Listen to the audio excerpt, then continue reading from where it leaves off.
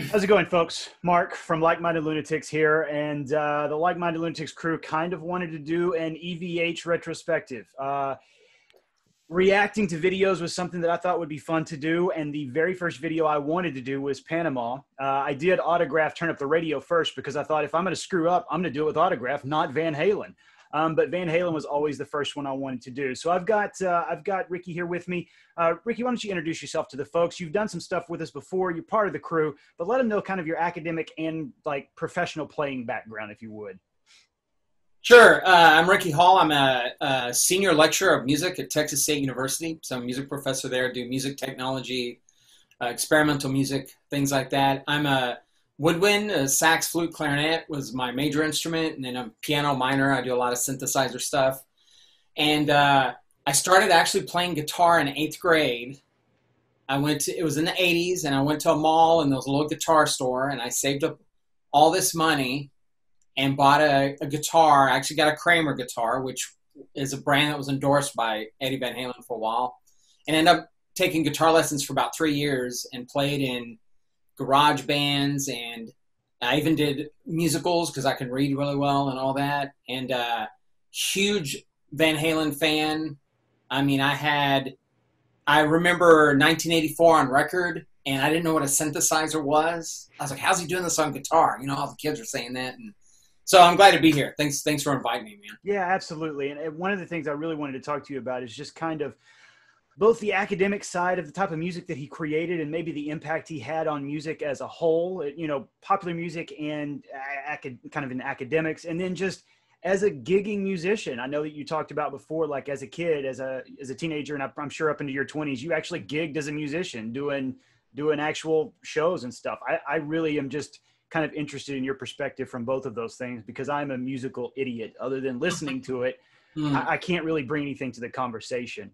Um, I know for me, I, I, wrote about it on Facebook, but I know so folks that don't know, I grew up in the middle of the country, and country music was really the only station we had. We were almost close enough to get 97.1 out of Dallas, but my parents they listened to country almost exclusively. So it wasn't up until like the third or fourth grade before I actually heard rock and roll. That's not a lie. I mean, it just wasn't around. Mm-hmm. Um, I had a friend who moved out in the country. His name was Jason, and Jason's dad had an enormous record collection. It was amazing. And Greg was a huge Van Halen fan. And so I remember staying over at Jason's house. In the morning, we would get up real early so we could play with the records when his dad wasn't up. And we would listen to Van Halen and ACDC. Those are the two bands that we listened to constantly. And I remember as a kid hearing that that eruption solo. And I, have got it in a second. Maybe we can we'll we'll share the screen in a second. Yeah. And just hearing that as a kid, it almost sounded like another language to me. And I went back and re-listened to it, and it sounds like the guitar is talking in a language we can't understand. Yeah. And I know a lot of a lot of guitarists, like Steve Vai, has done this, and uh, um, quite a few have used a talk box to actually talk through the guitar. But Eddie sounded like the damn guitar was speaking another language. And that was the impression I got from it. What about you, Ricky? What was like kind of like your first impression of him? Yeah, it's like uh, it's like the guitar was kind of part of him you know, type of thing. And yeah, always, it seems like you have guitarists that are really stuck in the technique or the theory of what they're doing and they can do all this kind of crazy fast stuff and all that.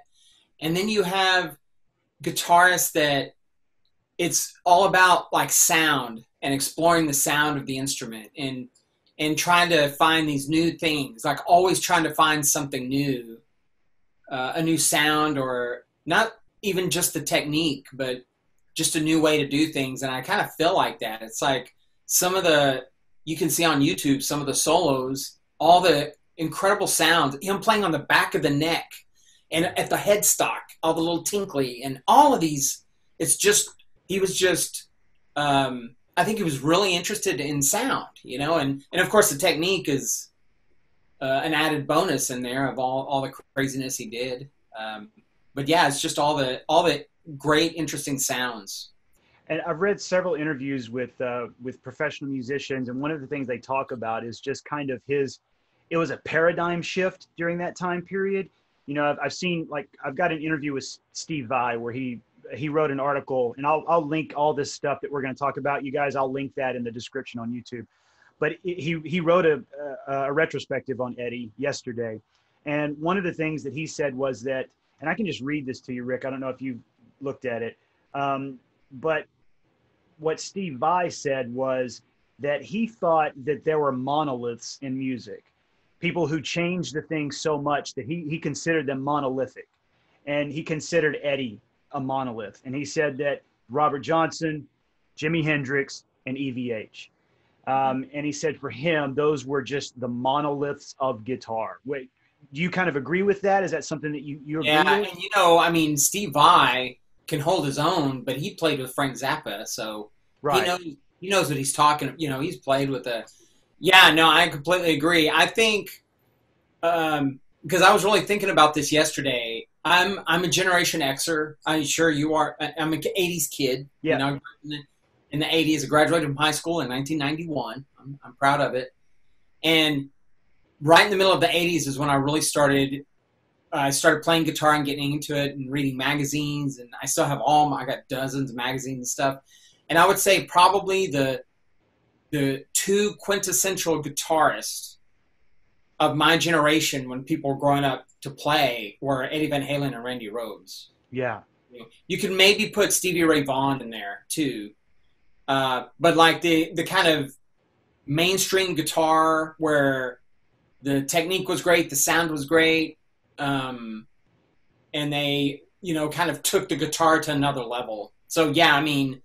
Uh, I saw someone talking about Van Halen on the news yesterday, and it was a music professor from you know some Columbia or something talk about how people still like write doctoral dissertations on Eddie Van Halen's music and, and his technique, and now and he's going to be in all the history books. And people are going to be talking about him for decades, like trying to figure some of his stuff out. You know. Well, and that's what I'll, I'll read this to you. This is that's kind of what Steve Vai wrote. He says, uh, "Of course, I could never play like him. I never tried. Only an idiot competes with Eddie Van Halen. But I knew that going into it. And he's talking about working with David Lee Roth on Eat 'em and Smile. But Mm-hmm. when you're playing that stuff and you're a guitar player, you see the infrastructure of it, and it's just so beautiful. I remember making the Eat 'em and Smile album, and we were working with Ted Templeman, and he played me just the naked tracks of Edwards guitars, and even just one track, one microphone of Edwards guitar sounded like an orchestra, perfectly packaged in this powerfully dynamic expression. Um, and that's, and again, that's Steve Vai. Uh, Yeah, he so knows what he's talking about. And if you watch, if you watch Eddie Van Halen play, there, I mean, I know it sounds cornball and cliched, but very effortless. Makes it look incredibly easy, very natural. Um, and you had texted me this the other day. He always looked like he was having a ball, like he was. Because there's some people that are good guitar players, but it's almost like chopping weeds. You know, Yeah. it's kind of painful. And he he just had a blast. It's like you're sitting on the couch with your bud drinking a beer, just jamming. Yeah, and I think that's a great segue, man. I'm going to go ahead and share my windows with you. Yeah, Um, folks, give me just a second. I got to make sure I'm sharing everything correctly. Um, but uh, I think what I would like to do is just, there we go. I don't know if you're going to be up there, Rick. Dad gummit. Let's see. Hide video. Oh my God. I don't know if I'm doing this correct. no, you can edit. Oh, there we go. Okay, so it bounces back and forth between us. Okay, good. Sorry, folks. I tried to test this, but I only tested it with myself, not with someone else. Um, so, Ricky, why don't we do this? Let's. Uh, I'm gonna. I'm gonna play just a little snippet of Eruption here, and uh, maybe we can talk about it a second. So, Yeah. for me, this is like Eddie's sound. Steve Vai talks about the Brown sound, um, and to me, this just sounds like Eddie. Um,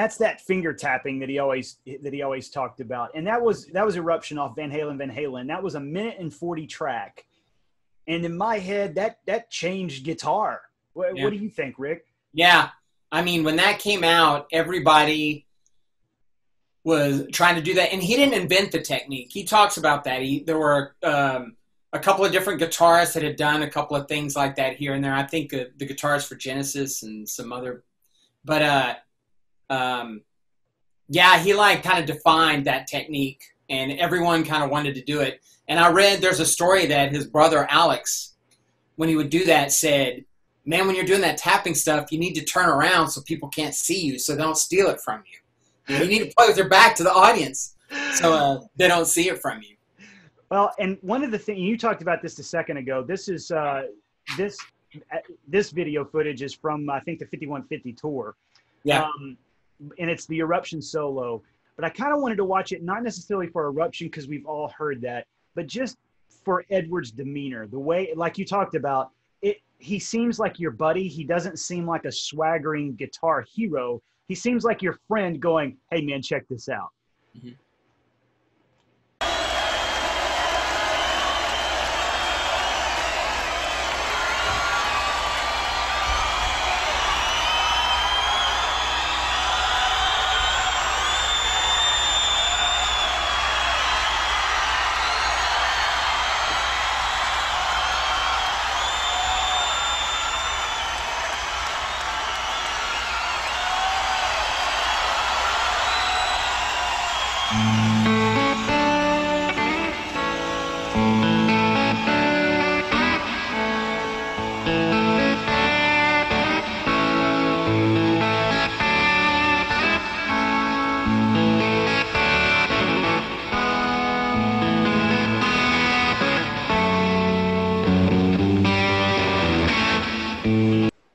Things I like here, Ricky, maybe you can speak to it, is just it to me it seems like he is confident enough in his ability that he can sit there and just chill out and have fun with the guitar.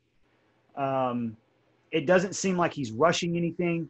It doesn't seem like, oh God, I got to make this exciting. Just, Mhm. Let's just sit here and play. Yeah, I don't know. It just it's striking to me just how effortless he he he does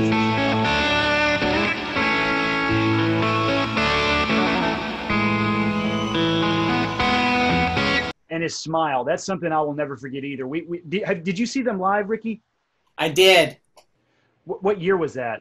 Uh, it was OU eight one two. So what what was that? Um, That was right after 5150. So 90, ninety three maybe or so. I was in college, maybe sometime. Yeah, probably so. something like that. Yeah, it was great. I mean, they were amazing. They were phenomenal. And I'd heard it. They were kind of sometimes hit and miss. Sometimes they were great. Sometimes they're a little rusty. Um, but I mean, all the concerts I've seen, they were, and it was it was a great concert. It was, and they went like over two hours. Yeah. They were they were machines. and I, I saw him in 2004, the last tour they did with Hagar. Mm. And uh, I remember, and I talked about this on Facebook. A lot of a lot of guitar solos are, are fine with me, but sometimes during the middle of the middle of the act, it seems kind of self indulgent. I don't know how else to, to put it. Right. It almost seemed like with Van Halen, every song was building up to Ed's big solo. hmm That was almost the you know the crescendo of the show was his 25 or 30 minute solo, which was unheard of, and Yeah. it never felt like come on get the band back on stage. It was always like oh this is what we came for. This is it right here. Yeah. And all the guitar guys that I'm with, they're, we're not cheering. We're everyone's watching. You know, you're, That's you're a- staring. You're trying to take notes. okay, you know, you're staring at them, trying to see. That's a great point because I, I remember seeing Guns N' Roses, and when Paradise City comes on, you can almost not hear Axl because now that is a crowd song. That song is no longer the band's. That song is our song. Everyone Right. sings along. You can hardly hear them play. yeah, But when when Ed did his solo, it was silent. yeah, yeah, I mean, there were moments of clapping, but for the most part, let's listen to what Ed's doing. yeah, Um, and then the other thing that I thought was really cool is how his solos changed, and maybe maybe you can talk about that in just a second. But this is a solo from 2015, and it's more similar to what I heard him do in 2004 than the uh, than the old eruption. This is at the Hollywood Bowl 2015.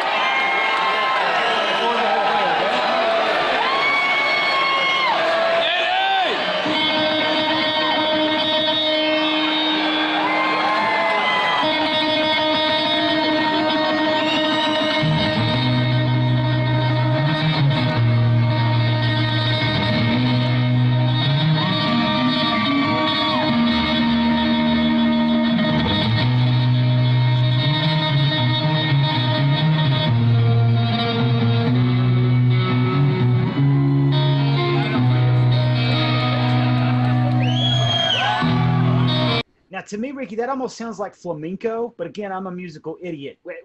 What is he doing there? Yeah, it's. I mean, I think it's it's something like that. He's he's um he's just playing the high strings and then he's fingering stuff on his low strings. So he's kind of doing this bass line while he's going so along is play, with it. Is he playing rhythm for himself? Kind of, yeah, yeah. And you know, he Van Halen talked a lot about how he didn't really listen to music. I don't know if you've heard him say that. Yeah. But he didn't really listen to a lot of music that was going on. But part of me thinks he was maybe in trying to kind of expand his his style and his his musical taste and all that because yeah this does not sound like western music this sounds like something that's eastern european or or uh, latin or something like that type of thing and, and what's uh, you you told me this before what's the academic term for that when you're using non-western music in western music we talked about it with big pig exoticism Okay, exoticism. Ex- exoticism, exoticism. Mm-hmm. And that's the that's the term in the academy for when you. Yeah, that's that's kind of the fancy the fancy term. Yeah. Okay, and then he does something here in just a second that uh, the first time I heard it was in 2004.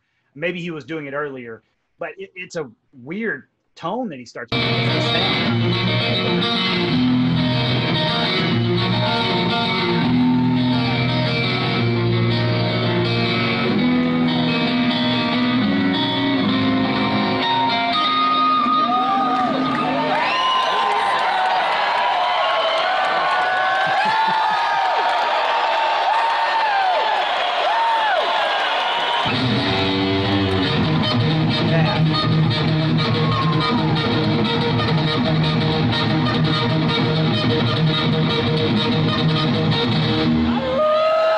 What's he doing there, Ricky?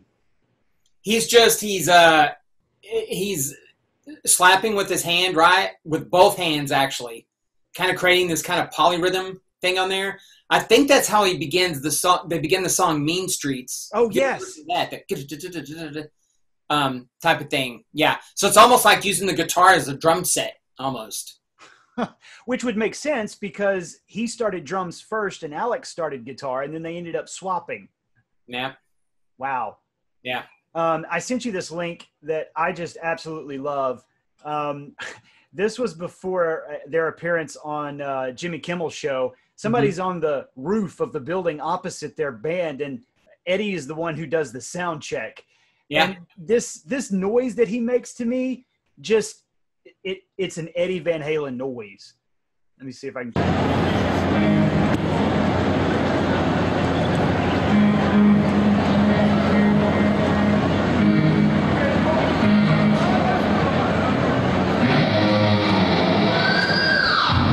That that scream uh, it's, it's so iconic to me yeah yeah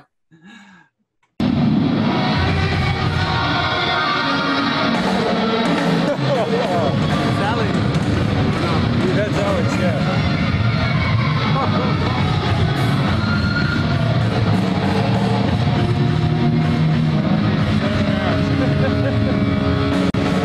and again, that's a sound that I just in my head I immediately attached to Eddie Van Halen. Mm-hmm. What is he doing different that other guitarists were not doing that makes it so distinctive when he does it? It's um I mean it can it, there's probably a lot of factors that can have something to do with, you know, the amplifiers you're using and he's got some pedals and also the guitars and he was notorious for uh tweaking these guitars, you know, and customizing them and cannibalizing them. And you know, his famous guitar they called Frankenstein because he yeah he put a bunch of different ones together. And but I think some of it too is just like it's it's kind of feel and the way you it's even with all this wattage and everything. It's just certain ways you play the strings and the way you hold the strings and the way I think there's a lot of finesse, and that's how people get their certain sound.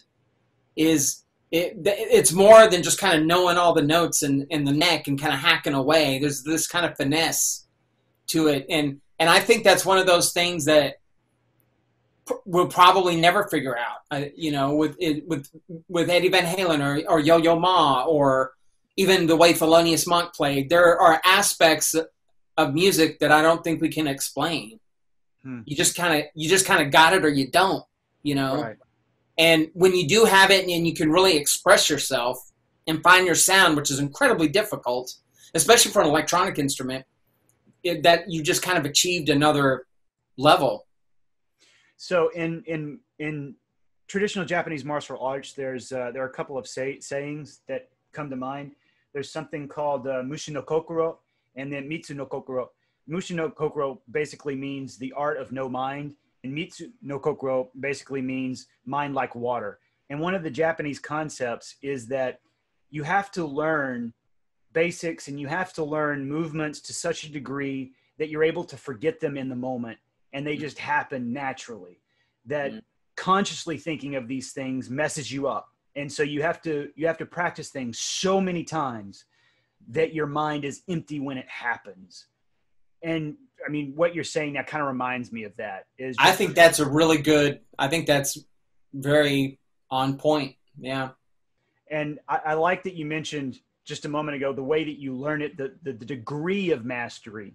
Again, in, in, in Japanese, well, not just in martial arts, but in all teachings or all teaching subjects, there are honorifics that you use for the instructors. So, like sensei in Japanese, all that means is having walked the path. That's all it means. So, Mhm. someone that's done it before you. Mm. But then there are additional honorifics that as you go up the ladder. There's Renshi and all these other different honorifics. But the last one is one called Hanshi. And a Hanshi is a, a gentleman scholar, is the way it translates to. So not only someone who knows all the material, not only someone who has walked the path, but someone who is representative of that discipline is kind of the way that that they talk about it. Yeah. And to me, that's what what Eddie seemed like a hanshi, a a gentleman scholar of that of that instrument. yeah. Um, I want to watch this video too. This was this is from 1978, and one of the things I find interesting here, I, I, I said a few minutes ago, I always felt like here, or after listening to his guitar, it almost feels like it's speaking. I love this because it's essentially Dave whistle singing back and forth with the guitar. hmm Just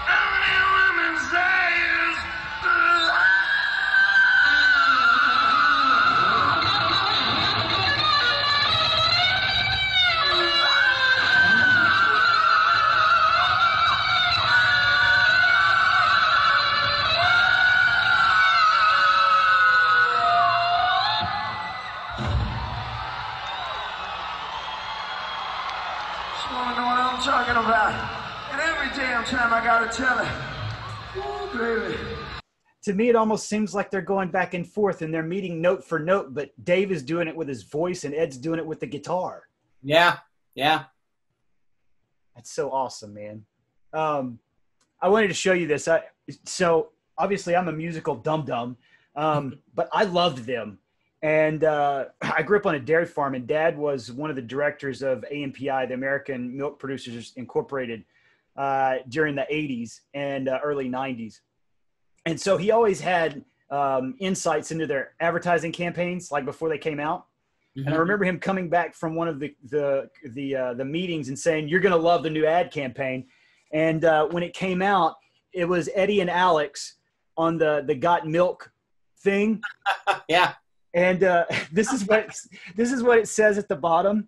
Of all the lead singers we've had, most never got enough calcium. Typical, but not for me and Alex because every time we change singers, we have an extra glass of milk. That way, we're sure to get more than the recommended three glasses a day. As you can see, sometimes all at once. And that was the, that was the picture that they had. And Dad was so excited to tell me that that Eddie was going to be part of their uh, their advertising campaign. That's crazy. I never knew that. um, one of the other things I wanted to look at with you here, Ricky, was, uh, and I sent this to you before, was Michael Jackson's reaction to his playing. yeah. Um, we talked about Steve Vai talking about what a mastery was, but man, this is such a good reaction from Michael Jackson, a musical genius in his own right, Yeah. to watching Eddie play.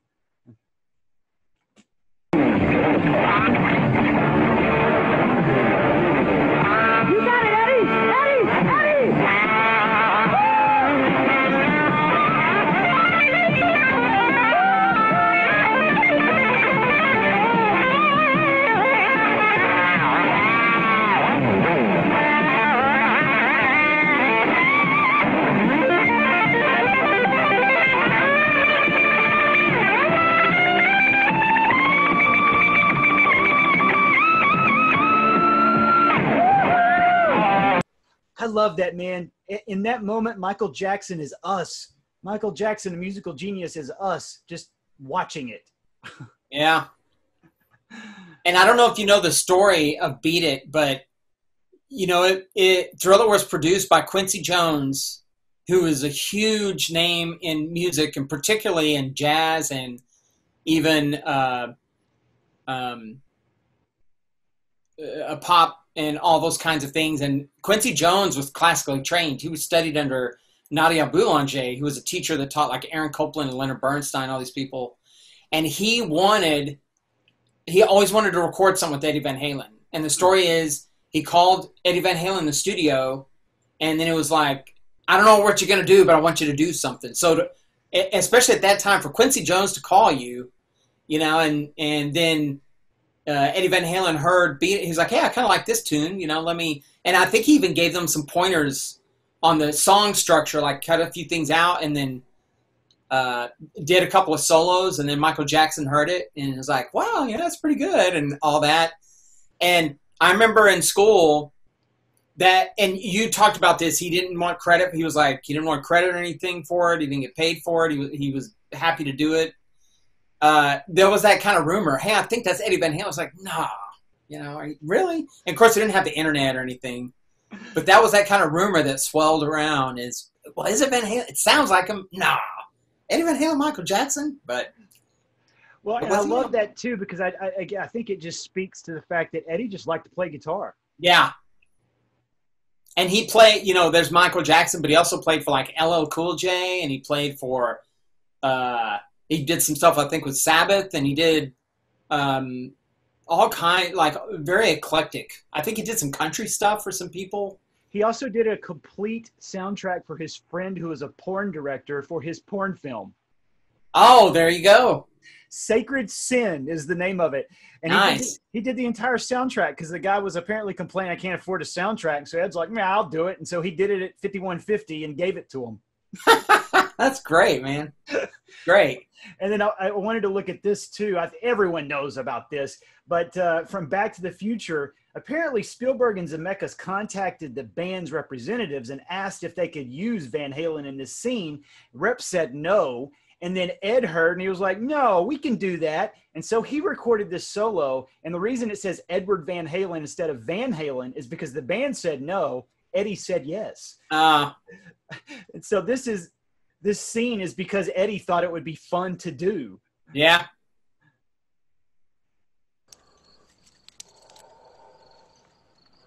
Cassette tape. And there we go, Edward Van Halen. Yeah.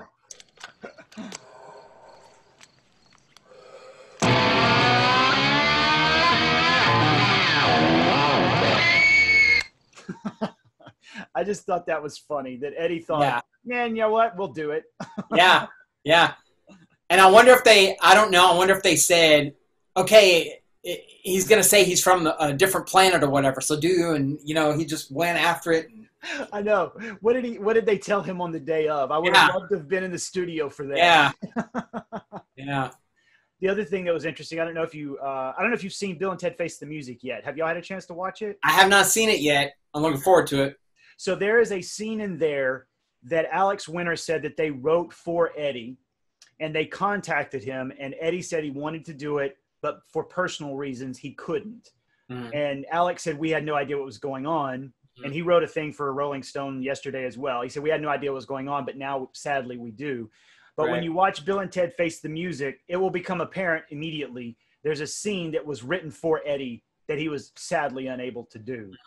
Um, and I don't know if you if you've seen the interviews, but apparently after Bill and Ted One came out, MTV asked Eddie, "Would you play with Wild Stallion?" After the film came out, and he was like, "They never called me. I would have played with them." And they talk about him all the time in the movie. So, know. yeah. Um, the last thing I kind of want to ask you about, Ricky, and this is a nerdy thing. Um, he gave several interviews. Um, let's see. Find it. There we go. He gave several interviews in, with Guitar Player that always found fascinating, but completely confusing. Um, so they're asking him about his guitar, and one of this is what what Eddie says. He wrote or he responded. it's hard to get the guitar in tune perfectly. Any guitar, a guitar is just theoretically built wrong. Each string is an interval of fourths, and the B string is off. Theoretically, that's not right. If you tune an open E chord in the first position and it's perfectly in tune, and then you hit a bar chord an octave higher, it's out of tune. The B string is always a motherfucker to keep in tune all the time. So I have to retune for certain songs. What, what are your thoughts on that? I mean, that's the physics of sound, you know, and, and strings and all that kind of stuff. I remember you sending me that and me reading it because I'd never heard that before. Um, but I mean, I've heard some people, you know, talk about how oh the guitar is a little funky or this doesn't work, that doesn't work. But the thing in is in music, there's been hundreds and hundreds of years of experimentation and these tuning systems and the the harmony we use and the, what's called the common practice period, which a lot of music's based on, Van Halen's music's based on, is just is kind of developed into what we have today. And I mean, string instruments, the guitar tuning is the same. It's the same tuning as like a upright bass or contrabass. Okay. And the, the tunings of like violins and, and violas and stuffs are in fifths and and a lot of string instruments are in some type of fourths or fifths. And I think that just came from the way music has developed. That we typically use like one, four, five chords and all that kind of stuff, and that's just kind of. I think the reason he said that is because he was trying to go beyond that.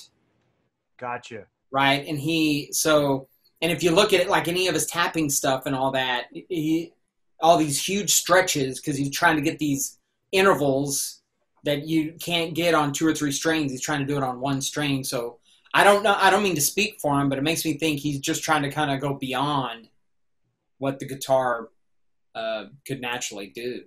You know, Gotcha. Well, I don't know if you've seen it, but apparently he submitted a patent for a new way to hold a guitar. Have you ever seen Mhm. that? Uh, I haven't. So it's this really weird rig that essentially turns the guitar into a piano that you put on your chest. Oh, so- okay. So that you can tap not on not like this, but like Yeah. this, like you would playing a piano. Ah, It's fascinating. I'll I'll link to it in the description. I'll send it to you. But he yeah, I would love to. He has drawings of himself, and it's a U.S. patent for it, and Yeah. it's drawings of Edward Van Halen holding this rig where it's showing all the patent components. That's really hip. I would love to see that. I know he he had patented like a couple of different guitar parts. I think like a, a certain type of truss rod which connects the neck to the body, and he, he had figured a couple of things out. So I'm not surprised that he would come up with something like that. And he was, you know, his first instrument was piano Right. before drums. Um, so it doesn't surprise me. Well, and I've read interviews with him as well where he talks about if you if you are educated in classical music, you should be able to hear like Mozart and Beethoven in some of my solos. I've heard him I've read him say that before. Yeah, no, for sure. That's definitely a signature of his of his style. Mhm. Wow. Well, what a loss, man. I was uh I, I wasn't lying when I put this on Facebook. I was I was jogging, I was on the treadmill when my friend Tank emailed me and told me. And I just it crushed me, dude. I, I had Yeah. to pull up videos and I sat on the floor and I cried. Yeah, I, I really don't know why. I, he again to use Steve Vai's words, he was such a monolith in my life musically. Again, I'm a musical dummy. I just I'm a fan of it. But as far as like who I am as a person, I feel like my heart is always playing Van Halen. Um, Yeah, it took it took my breath away. I probably the closest was when I heard like Kurt Cobain died, and I was in college then. But my high school, my daughter in high school texted me during lunch and said, "Hey, Eddie Van Halen," and I was like, "Oh no, you you saw something on TikTok, whatever, you know." yeah. And then she sent me a a news article about it, and yeah, I was like, I like literally took my breath away. And I got to tell you this real quick, and I've actually been talking with some students about this. So my daughter is a junior in high school; she's 16, and a lot of the high school kids were talking about Eddie Van Halen died. And then I go to drop her off the next morning, and the seniors can paint their parking spaces, and some seniors had repainted and one of them she showed me a picture. He painted it like the paint job behind you the frankenstein you know. And i thought these are kids that my daughter goes to high school that are um, kind of mourning the death of this guy who his band, their grandparents probably listened to. Yeah. Like I thought that because I was like, their parents probably are, were around the mid 2000s or so, right, or early 2000s. So their parents' parents would have been listening to 1984 and uh, Van Halen one and all that kind of stuff. And I, I, I think of when I was in high school, nobody listened to what your grandparents. Nobody cared. You know, Right. I mean, I don't even know what my grandparents were listening to. But now, like, that really tells you what a big cultural and musical impact they've made. Is you have multiple generations, and this is this is a heavy metal band. Yeah. You know, this it really is mind blowing. And I've been talking with my students about that, about how, you know, it, uh, what an effect that band and Eddie Van Halen had on music in general. Anyway, Well, and this is something I kind of wanted to ask you too before we kind of start wrapping up. Um, I we go to ACL every year whenever it whenever it obviously didn't happen this year, but we go to a lot of live shows. And one of the things that I kind of lament as as an you know a mid 40s music lover is kind of the the instrumentation in bands. I, I don't get the sense in a lot of rock bands, and I don't know how to describe this again. I don't have the terms for it but it feels like to me with older rock and roll there is an ebb and flow within the song of vocals instrumentation and moments for those things to be highlighted. Where now a lot of the music sounds flat to me i don't know how else to explain it ricky. And again i'm I, I don't have the terms but it sounds flat to me so everything is balanced out. There's no moment for any one thing to shine. And i'm wondering if i'm hoping that we're getting a resurgence of of that type of music. And I don't know what you think about that. And Van Halen definitely had that. There was Dave, there was Eddie, there was Alex, and they all shone at certain times. you are exactly right. That that is where music was, and it's not that way anymore. And it- it's a lot of different factors. It can be uh, technology and recording, and now we we're kind of into something everyone calls the loudness wars, where when everything's recorded, you're trying to crank it up. So they add something called a limiter, and everyone's trying to. And when you are trying to crank up the the overall mix, you lose finesse in there. And there's hmm. also something called compression, where they take the loud and soft and match it in the middle, and it then you take the whole song and you can make it louder.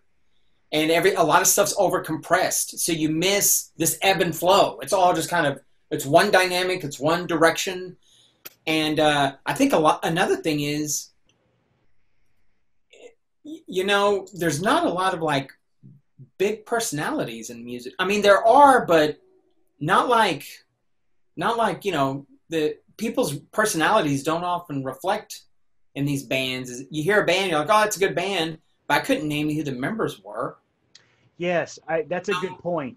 yeah, it's as opposed to like acdc or or van halen or rush where there are these distinct personalities that come out in the songs i don't know if that really happens that much anymore maybe foo fighters but even then i don't know I think you're right too. That's such a good point. I do feel like that the instrumentation and the vocals of a lot of the older acts were expressions of the people themselves. yeah And now it almost feels like the music is external from the people.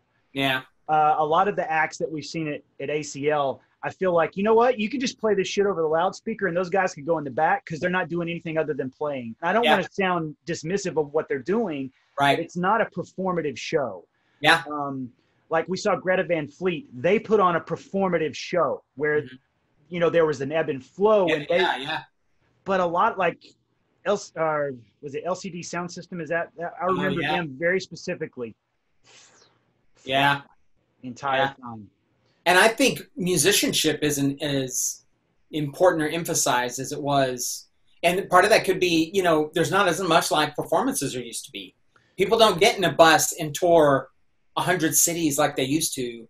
And you had to be able to play. You couldn't fake it. You couldn't go in a studio and say, I'm going to do 20 takes, take, tw- take eight, let's do take 18 and tweak it for me and auto correct and all that kind of stuff. It's like you had to know your stuff, you know? Right. And some of the early recording, and you can hear it in Van Halen 1, I think there's several songs on there where it's all of them in their corners of the room, and it's one take.